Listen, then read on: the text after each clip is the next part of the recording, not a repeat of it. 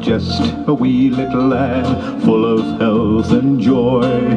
My father homeward came one day and gave to me a toy, a wonder to behold it was, with many colors bright. And the moment I laid eyes on it, it became my heart's delight.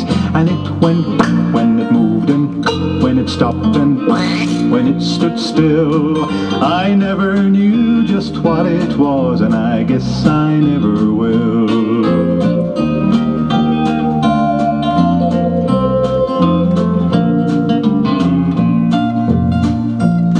Now the first time that I picked it up, I had a big surprise. For right on the bottom were two big buttons that looked like big green eyes. I first pushed one and then the other, then I twisted its lid.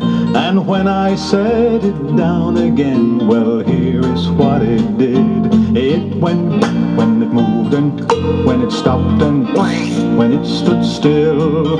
I never knew just what it was and I guess I never will.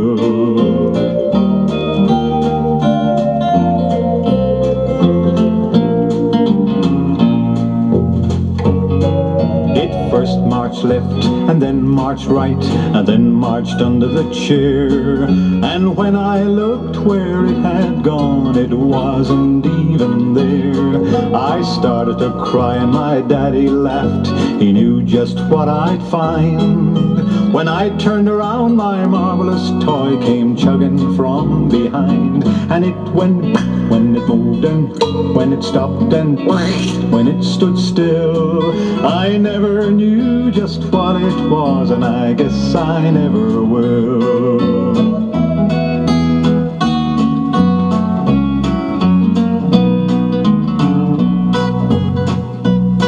Well, the years have gone by too quickly it seems And I have my own little boy. And yesterday I gave to him my marvelous little toy.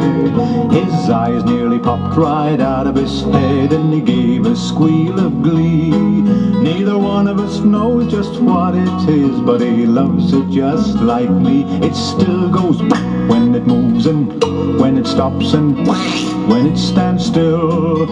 I never knew just what it was, and I guess I never will.